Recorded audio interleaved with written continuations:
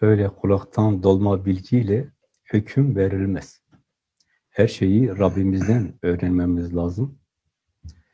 Doğrusunu oradan öğreneceğiz. En son sözünde kardeşimiz ne diyor? Şeytan da melekti diyor. Ne diyoruz? Haşa. Çünkü Allah öyle buyurdu. İblis cinlerdendi. Bu kulaktan dolma bir bilgidir. Geçmiştekilerin söylediği şeydir. Daha doğrusu bu, İzidilerin, şeytana tapanların söylediği iblis, melekti, ismi de Ezazil'di diye söylemişler. Ama Allah, iblis cinlerdendi. Şimdi denebilir ki, cinlerin, iblisin, meleklerin yanında ne işi var? Bir de böyle düşünülebilir. aynı alemde, aynı boyutta oldukları içindir bu. İnsanlardan önce cinler vardı yeryüzünde. Bununla beraber orada acaba bir tek iblis mi vardı cinlerden olarak? Onu Allah biliyor. Ne kadar cin vardı? Meleklerin iradesi yok demek doğru değildir. Bunu da tabi bu da kulaktan dolma bir bilgidir. Meleklerin iradesi vardır. Vardır, nefsi yoktur. İradesinin olması başka, nefsinin olması başkadır. İradesi vardır, tercihi vardır, sevmesi vardır, korkup endişe etmesi vardır. Ama nefsi yoktur. Nefis olarak. İtiraz eden nefis değildir. Bu bir, buna itiraz etmek demek doğru değildir. Mesela ayeti doğru okuyalım, anlayacağız. Allah yeryüzünde bir halife yaratacağım buyurdu yeryüzünde halife yaratacağım deyip meleklere oradaki olan herkese bunu buyurunca Allah'ın kelami öyledir. Bir şeyi söylediğinde aynı zamanda onun nasıl olacağını da onları da gösterir. Hem gösteriyor, söylerken göstermiş oldu aynı zamanda. Onlar da insanların yeryüzünde fitne çıkardığını, fesat çıkardığını, cinayetler işlediğini, birbir, birbirlerini öldürdüklerini gördüler. Kan döktüğünü gördüler. Bunun üzerine ne dediler? Biz seni hamdinle tesbih ederken yeryüzünde fesat çıkaran, kan döken birini mi halife kılıyorsun? Allah söylüyor. Onu biz söylemiyoruz. Bu durumda Rabbimizin söylediğini anlamaya çalışmamız lazım. Niye böyle söylediler? İradesi vardır, fikri vardır, düşüncesi vardır.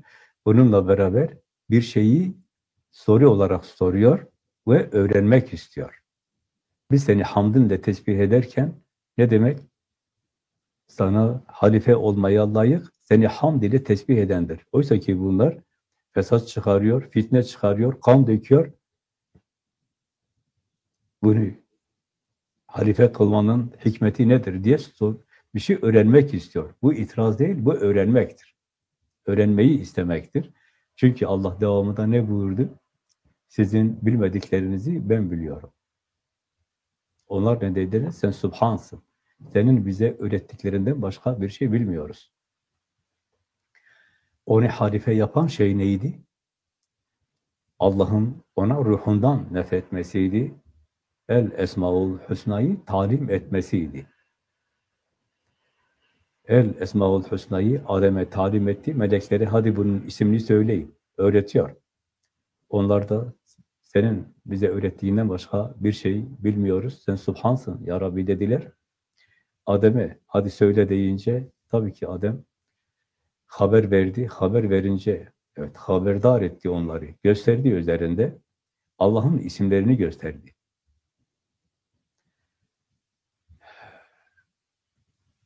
Buradan neyi anlamak lazım? Bu söylenenler benim sözüm değildir. Rabbimizin söyledikleridir. Onun için Rabbimiz neyi söylemişse onu anlamaya çalışmamız lazım. Orada melekler itiraz etmedi. Ne yaptı? Öğrenmek istedi, anlamak istedi.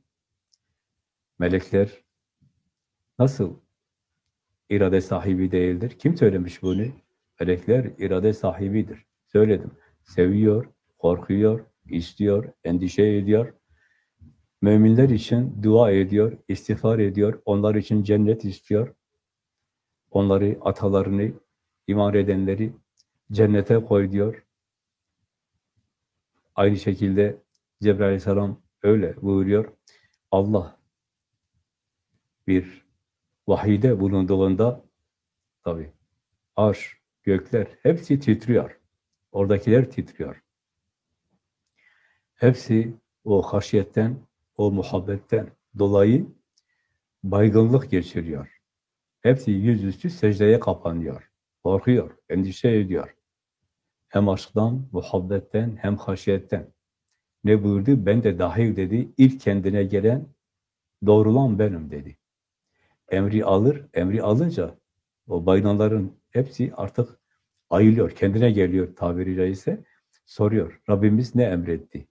Önce onu gök ehline tebliğ ederim, sonra onu yeryüzüne indiririm. İradeleri elbette ki vardır. İradesiz olur mu? Söyledim. Haşyetleri de vardır. Muhabbetleri de vardır. iradeleri de vardır. Nefisleri, olmayan nefisleridir.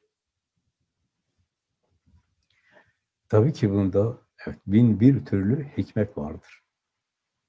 Ama Rabbimiz bize neyi söylediyse çok dikkatli olalım. Yoksa imanımıza zarar verir. Önce Rabbimiz ne söylemiş, ne demek istemiş, onu anlamaya çalışalım.